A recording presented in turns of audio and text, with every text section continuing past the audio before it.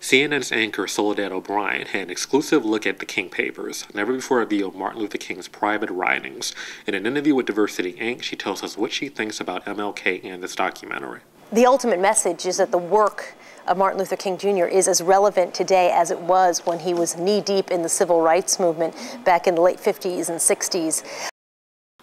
The collection features 7,000 papers written by King, including drafts of his 1963 I Have a Dream speech to have the actual literal, literal, physical document to see. It's on loose leaf paper lined both sides. I mean that to me was was extraordinary because it was so ordinary. Here you have a man who really was a man of the people writing the most incredible things that would move the nation in a certain direction Nearly 40 years after his voice was silenced by an assassin's bullet, the words of Dr. Martin Luther King Jr. continue to inspire a nation. I have been reading to my daughter, who's 6 um, some of Letter from Birmingham Jail, yeah, which has been really yeah. fun. And, you know, obviously she's six years old. We're not reading the whole letter, but there's mm-hmm. certain parts, and it's at an age where, at least here in New York, uh, preschoolers and kindergarteners are learning about Martin Luther King and learning about, you know, what it means for people to respect each other.